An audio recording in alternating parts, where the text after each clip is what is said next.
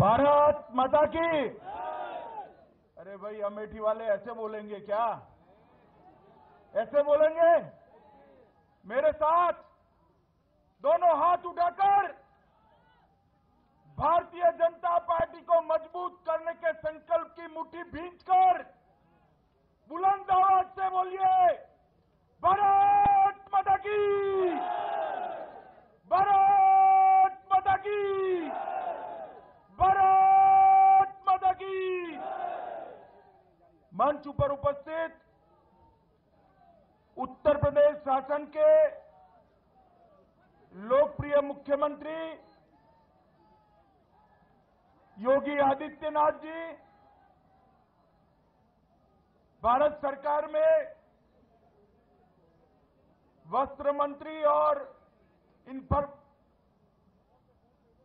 केंद्रीय मंत्री बहन, स्मृति बहन हमारे प्रदेश अध्यक्ष श्रीमान महेंद्र नाथ पांडे जी, भाई सुरेश पासी जी, श्री बलदेव ओलक जी, भाई मोहसिन रजा जी, श्री अनिल राजभर जी, श्री श्रीमती गरिमा सिंह जी, श्री लक्ष्मण आचार्य जी, श्री मयंकेश्वर जी, श्री दल बहादुर कोरी जी मंच पर उपस्थित भारतीय जनता पार्टी के संगठन की आत्माएँ से संगठन के सभी पदाधिकारी और आज की ये विराट सभा में आए हुए अमेठी जनपद के प्यारे भाइयों और बहनों, सबसे पहले मैं अमेठी की जनता का हृदय से धन्यवाद करने के लिए यहाँ पर उपस्थित हुआ हूँ। क्योंकि मित्रों, जब विधानसभा का चुनाव था और हम यहाँ पर प्रचार कर रहे थे, भारतीय जनता पार्टी के हज़ारों कार्यकर्ता, उस वक्त मैं अमेठी में महारानी साहिबा की सभा को संबोधित करने के लिए आया था। और मैंने अमेठी में अमेठी की जनता को एक अपील की थी कि उत्तर प्रदेश में सरकार तो बनने वाली है, मगर हम अमेठी के विधायकों से सरकार बनाना चाहते हैं। और मेरी इस अपील को, भारतीय जनता पार्टी की अपील को, आप लोगों ने संपूर्ण आशीर्वाद देकर पाँच में से चार सीट भारतीय जनता पार्टी को जिताकर समर्थन किया। मित्रों, मैं इसके लिए हृदय से भारतीय जनता पार्टी की ओर से अमेठी की ये महान जनता का करबद्ध धन्यवाद करना चाहता हूँ मित्रों, आज मैं यहाँ पर स्मृति स्मृतिबेन के बुलावे पर आया हूँ। और इसलिए नहीं आया कि स्मृति जी केंद्र सरकार की कद्दावर नेता है, मंत्री है मैं इसलिए आया हूँ कि मैं 30 साल से 35 साल से सार्वजनिक जीवन में हूँ। मगर मैंने ऐसा नहीं देखा कि जीता हुआ प्रत्याशी, जनप्रतिनिधि तो कभी ना आए और हारी हुई प्रत्याशी बच्चे की तरह अमेठी को गले लगाकर विकास के काम करे। मित्रों, एक नया उदाहरण। जब जनादेश नहीं मिलता है तो लोग जनता से मुँह मोड़ लेते हैं। अमेठी की जनता ने जीतने के लिए पर्याप्त मत उस वक्त स्मृति जी को नहीं दिए, मगर उन्होंने हारने के बाद भी अमेठी को कभी नहीं छोड़ा, कभी नहीं छोड़ा। और आज इसी के कारण पाँच में से चार सीटें भारतीय जनता पार्टी जीती है और अमेठी के अंदर एक विकास की गंगा शुरू हो मित्रों, ये अमेठी मत क्षेत्र, ये अमेठी की जनता को दुनिया में कोई जाने न जाने, अमेठी क्षेत्र को पूरी दुनिया जानती है। क्योंकि गांधी नेहरू परिवार का एक ग्रुप क्षेत्र है, वीआईपी क्षेत्र है। और मित्रों, आज़ादी से आज तक यहाँ से बड़े बड़े दिग्गजों को आपने चुनाव जिताकर भेजा। मैं ये पूछना चाहता हूँ, जब तक नरेंद्र मोदी की भाजपा सरकार नहीं आई, जब तक योगी आदित्यनाथ की भाजपा सरकार नहीं आई, अमेठी के विकास के लिए क्या हुआ भाई? कुछ हुआ है? जरा ज़ोर से बोलो, कुछ हुआ है? मित्रों, आज इस अमेठी की धरती पर से मैं कांग्रेस के शहजादे श्री राहुल गांधी को भी पूछना चाहता हूँ तीन तीन पीढ़ियों तक आपको, अमेठी की जनता को ने वोट दिया। आप हमारे तीन साल के हिसाब मांगते हो राहुल बाबा? मोदी जी ने तीन साल में क्या किया? ये अमेठी की जनता तीन पीढ़ी का हिसाब मांगती है आपसे कि तीन पीढ़ी तक आपने क्या किया। मित्रों, सत्तर साल तक पंचायत से लेकर पार्लियामेंट तक का शासन एक गांधी परिवार के साथ रहा मगर यहाँ पर विकास नहीं हुआ। आज मैं राहुल गांधी को इस धरती पर से सवाल पूछना वो गुजरात में है और गुजरात के विकास के लिए सवाल पूछ रहे हैं। मैं आज इस धरती पर राहुल गांधी जी को सवाल पूछना चाहता हूँ कि राहुल जी आप मुझे बताइए, इतने साल से आप सांसद हैं, अब तक अमेठी में कलेक्टर ऑफ़िस क्यों नहीं बनी? अब तक टीबी का अस्पताल क्यों नहीं बना? अब तक आकाशवाणी का एफएम रेडियो क्यों नहीं आया? अब तक गरीबों को आवाज़ क्यों नहीं मिले? अब तक ये माँ गोमती के कटाव से कटने वाले गाँवों को सुरक्षा क्यों प्रदान नहीं की ये गुजरात में सवाल खड़े करते हैं। मैं आज अमेठी की धरती पर एक बात दुनिया के सामने कहना चाहता हूँ। इस देश में दो प्रकार के मॉडल है। विकास के दो प्रकार के मॉडल हैं। एक गांधी नेहरू परिवार का मॉडल और एक मोदी मॉडल। मित्रों, गांधी नेहरू परिवार ने क्या किया मैंने अभी बताया। आज स्मृतिबेन ये सारी जो गैलरी लगी है, ये अमेठी के विकास की गैलरी है। और स्मृतिबेन ये सारे विकास को, योगी जी की सरकार को साथ में लेकर, मोदी जी की सरकार को साथ में लेकर आगे बढ़ा रही है। और गुजरात में हर गाँव में, हर गाँव में बिजली 24 घंटा आती है। हर घर में पानी पहुँचाने का काम समाप्त हो चुका है। हर तहसील के अंदर, हर तहसील के अंदर एक प्रकार से पब्लिक हेल्थ सेंटर का अच्छा सेंटर खड़ा कर दिया गया है। मित्रों, अब यहाँ पर भी योगी जी की सरकार आई है। मैं आपको आश्वस्त करना चाहता हूँ योगी जी के नेतृत्व में जब हम फिर से बाहर, फिर से वोट लेने के लिए आएँगे, उस वक्त उत्तर प्रदेश भी गुजरात के जैसा विकसित राज्य बनाकर आएँगे।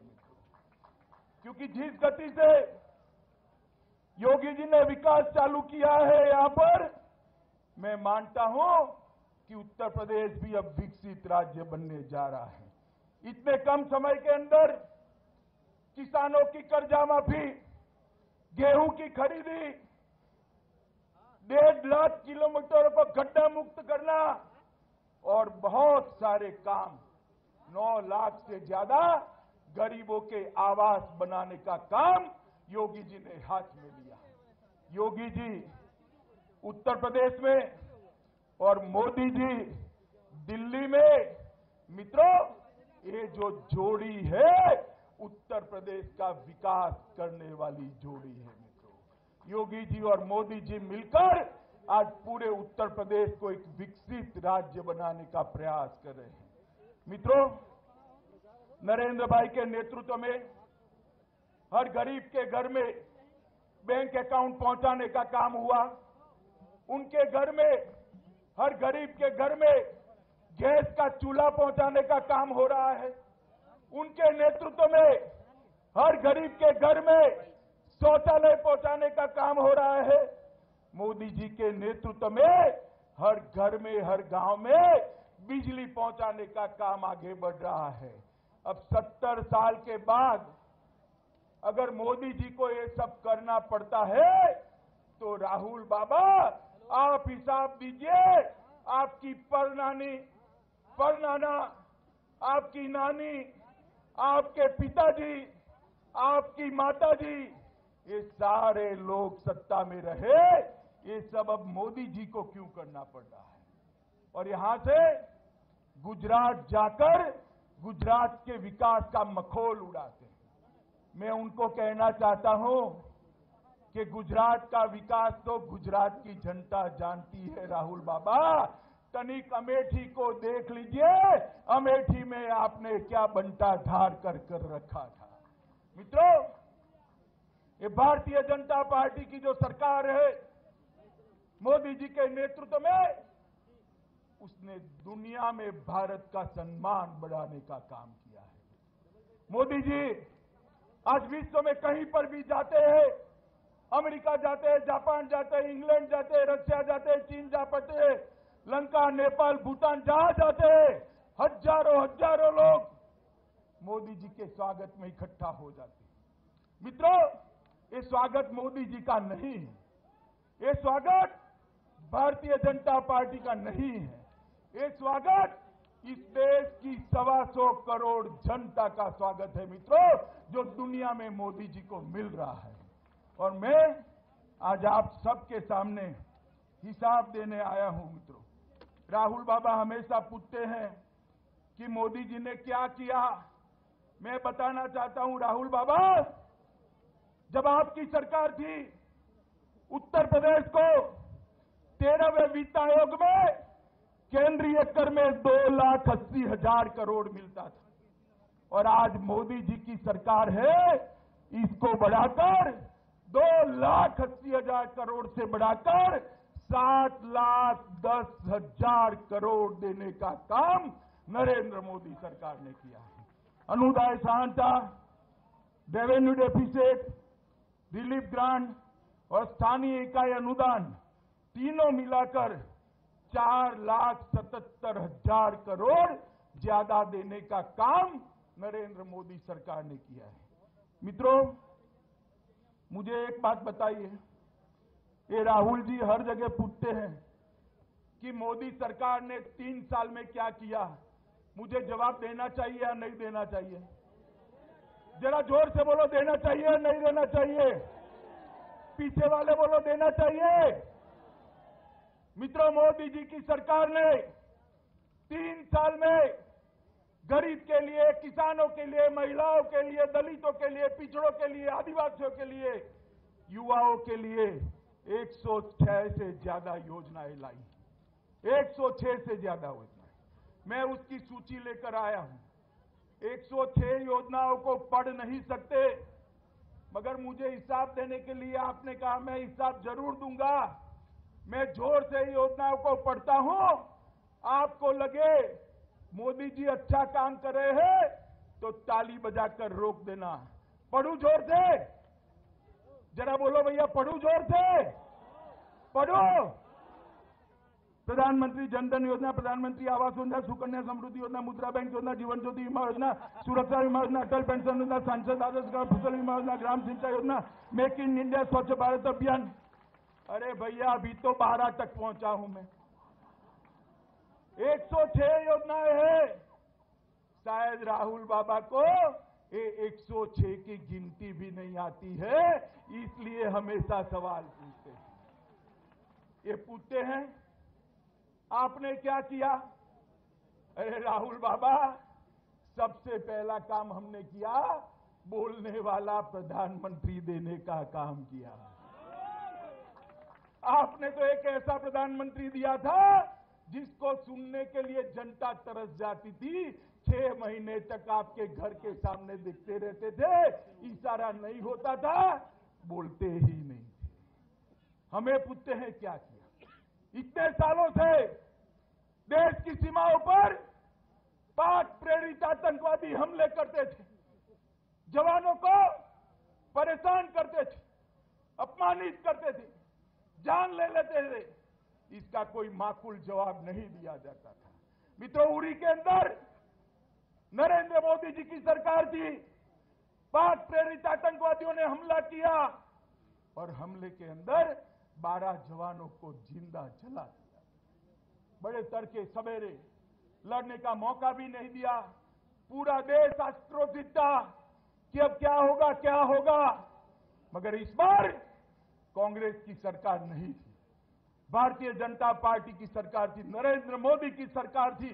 दस ही दिन के अंदर हमारे सेना के जवान पाकिस्तान के अंदर घुस गए सर्जिकल स्ट्राइक कर कर बदला लेकर वापिस आए।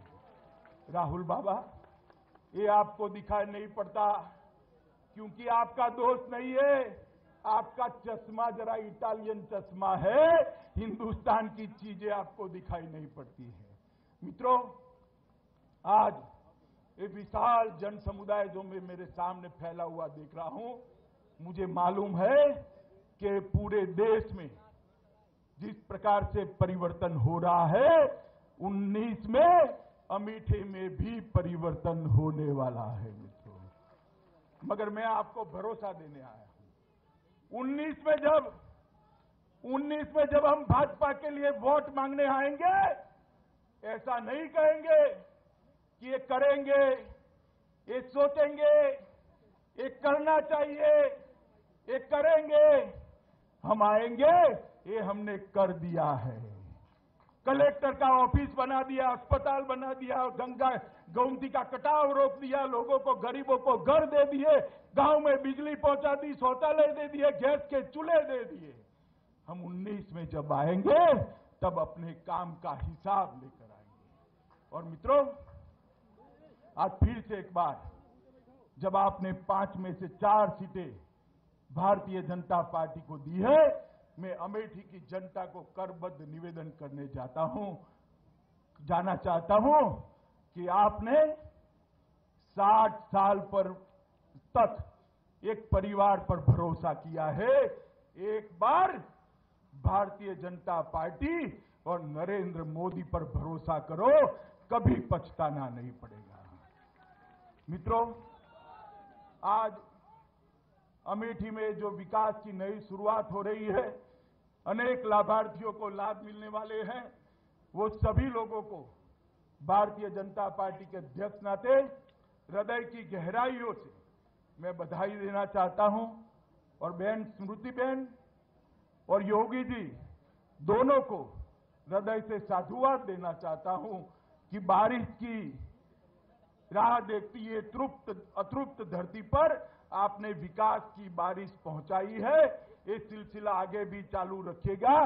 ये बात कहकर मेरी बात को समाप्त करता हूँ। मेरे साथ बोलिए, भारत माता की, भारत माता की, भारत माता की, वंदे मातरम।